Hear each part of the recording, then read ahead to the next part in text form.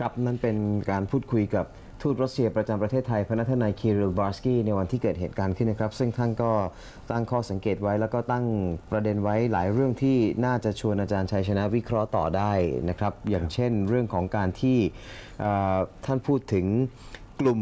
เอ่อฐานที่มั่นของกลุ่มก่อการร้าย ซึ่งเหลืออยู่น้อยนิดแล้วเนี่ยนะฮะเอ่ออถูกทำลายนี่คือซีเรีย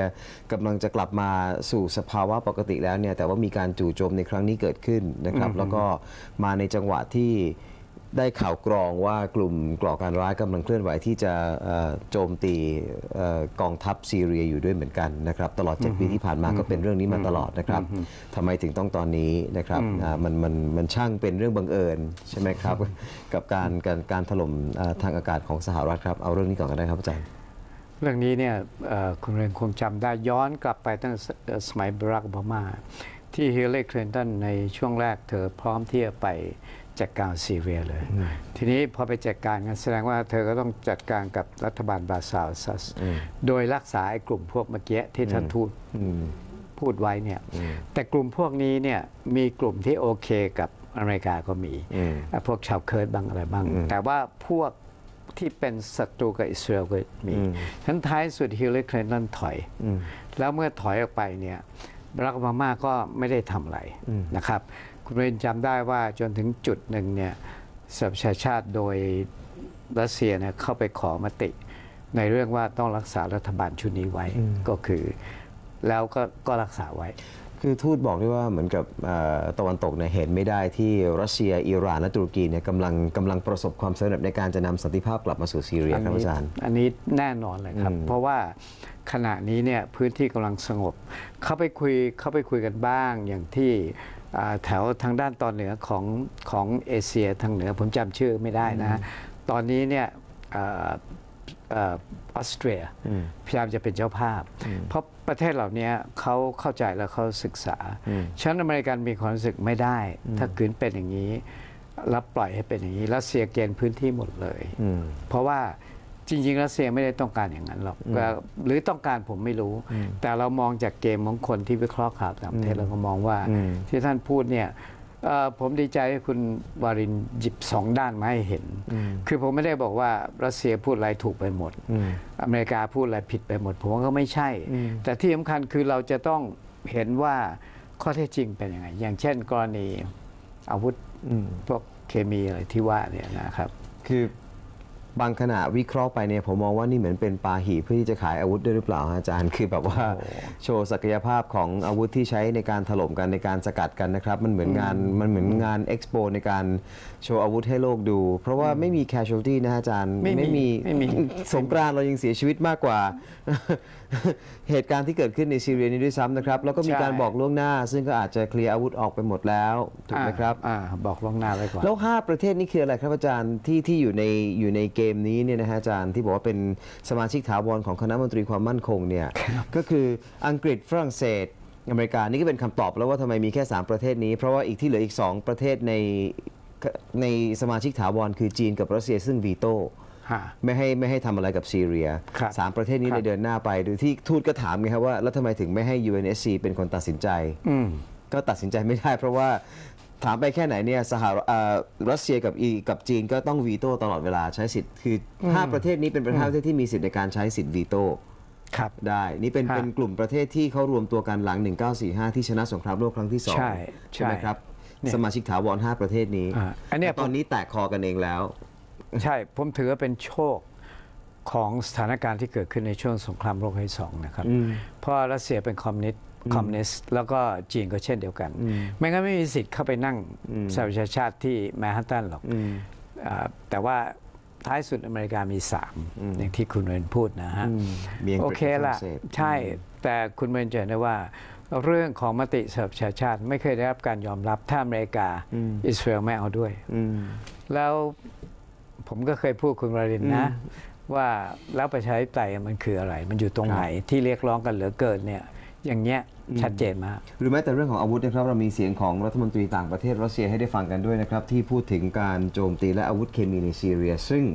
อย่างที่ท่านทูตตั้งคำถามมานะครับว่าในเมื่อคุณก็บอกว่ามันเป็น suspected เอ่ออ่าเอ่อสงสัยได้ว่ามีการใช้อาวุธเคมียังไม่มีหลักฐานไม่มีอะไรพิสูจน์ด้วยเลยนะครับ ลองไปฟังเสียงของ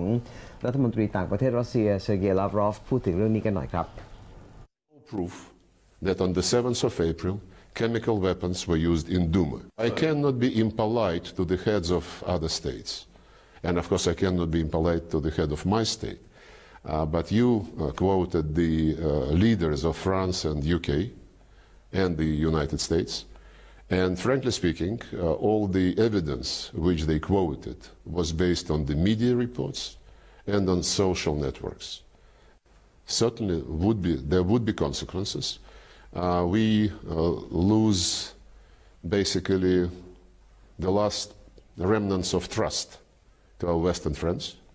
uh, who prefer to operate on the basis of very uh, weird logic. Proof is in the punishment. They punish first, like they did in Salisbury. Then they wait for Scotland Yard to finalize the investigation. They punish first in Duma in Syria, and then they wait for the inspectors of OPCW to visit the place and to inspect. Punishment, I mean, proof by the punishment is what uh, is being applied by the Troika. Of ลงโทษก่อน แล้วค่อยเข้าไปตรวจสอบทีหลังครับทำไมไม่ proof ก่อน แล้วค่อยไป punish คำถามของรัฐมนตรีต่างประเทศใช่รัสเซียแล้วก็ Republican เขาทำมา lose โดย trust ตลอดกับพวกบรรดาตะวันตกไปหมดแล้วเขาบอก หมดแล้วฮะเพราะเราก็ผมไม่อยากจะบอกว่าโกหกชาวโลกด้วยนะเอ่อคุณเองคงจำได้ว่าอ่านี่คือ Republican ที่เข้าไปอ่ารบในอิรัก เสร็จแล้วค่อยมาคุยกันทีหลัง ค่อยมาตั้งรัฐบาลทีหลัง อิรักกระเจิงจนไม่ทั้งไม่เป็นประเทศแล้วนะฉะนั้นตอนนี้ก็มาที่ซีเรียฉะนั้นผมผมผมค่อนข้างเห็นด้วยนะ แล้วชาวโลกทุกวันนี้ก็เชื่อในข่าวที่ที่ปรากฏออกมาว่านี่คือข้อเท็จจริง เราไม่ได้ตรวจสอบเลย อเมริกาพูดอะไรเราเห็นด้วยหมดเลย ซึ่งผมว่าไม่ไม่เป็นธรรมนะครับ คือเหตุการณ์ในครั้งนี้ทำให้องค์กรอย่างคณะมนตรีความมั่นคงสหประชาชาติเนี่ยกลายเป็นเสือกระดาษ ไม่มีบทบาทอะไรไปเลยใช่ใช่ไหมครับสองใช่ครับ OPCW ที่มีไว้เพื่อไปตรวจสอบอาวุธเคมี ก็เหมือนกับไม่มีบทบาทอะไรม่มีบเลทยบนะอาจารย์ ค่ะคุณเรนจำได้ไหม I IAEA อะซึ่งขนาดเข้าไปร่วมมือกับอิหร่านจนกระทั่งพิสูจน์ได้ว่าอิหร่านไม่มีนะ ไม่ได้ทำอพเมวริกาก็ยังไม่เชื่ออเมริกาไม่เชื่อเพราะว่าอเมริกาเป็นอันธพาลอืมต้องพูดกันตรงๆเลยนี่คืออันธพาลแล้วนี่ก็เป็นอีกเหตุผลหนึ่งที่ทำให้เอ่อรัฐบาลอังกฤษนะฮะเอ่อไม่พอใจเทเรซาเมย์ฮะอาจารย์สภาสภาอังกฤษไม่พอใจเทเรซาเมย์เพราะว่าเขาไม่ไว้ใจทรัมป์ไงฮะอาจารย์เอ่ออย่างอย่างคุณคอร์เบนที่เป็นผู้นำฝ่ายค้านเนี่ยคือใช่คุณลุยเดี่ยวไปอย่างนี้โดยที่ไม่ไม่ถามอ่าสภาก่อนเนี่ยใช่ทั้งเทเรซาเมย์ทั้งมาครงเนี่ยถูกสภาของพวกเขาเนี่ยลุม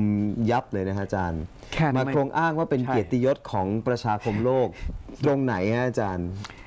แค่นั้นไม่พอนะคุณเรนจะเห็นได้ว่าคนอังกฤษเขาไม่เอาด้วยเขายกป้ายเต็มไปหมดเลยนะ เพราะว่าประสบการณ์ในสมัยโทนี่แบร์ถึงแม้ว่าจะเป็นพรรคแรงงานเนี่ย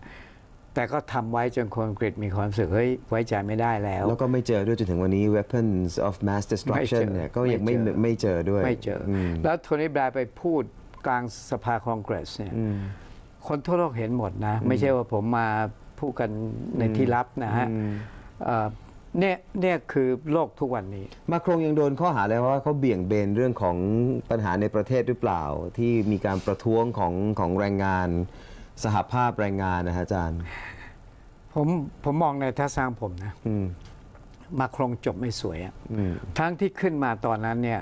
คนฝรั่งเศสเมื่อขี้เลือกอะอืมอืม หาไม่ได้แล้วอะผู้นำโบราณโบราณเขาก็อยากได้พอได้คนหนุ่มเข้ามาโอ้โห คิดอนุรักษ์นิยมสุดยอดเหมือนกันฉะนั้นเรื่องเนี้ยที่คุณโรนินพูดเนี่ยผมคิดว่าเวลาจะเป็นเครื่องพิสูจน์ ครับฮะ หนึ่งในสิ่งที่ทำให้โลกไม่ไว้ใจทรัมป์นะครับ ก็อาจจะเกี่ยวข้องกับสิ่งที่ เกี่ยวข้องโดยตรงกับพฤติกรรมของเขานะครับ แต่เดี๋ยวช่วงหน้ากลับมาดูกันครับว่าผู้ที่ทรัมป์ขับไล่ออกไปจาก FBI นะครับก็เปิดตัวหนังสือแล้วครับแล้วก็ออกมาพูดถึงความไม่พร้อมในแง่จริยธรรม หรือศีลธรรมในการเป็นผู้นำของโดนัลด์ทรัมป์ในการนำประเทศสหรัฐอเมริกานะครับ morally unfit นะครับเป็นเป็นถ้อยคำของเจมส์โคมีอดีตผู้อำนวยการ FBI เดี๋ยวช่วงหน้ากลับมาดูรายละเอียดเรื่องนี้กันครับ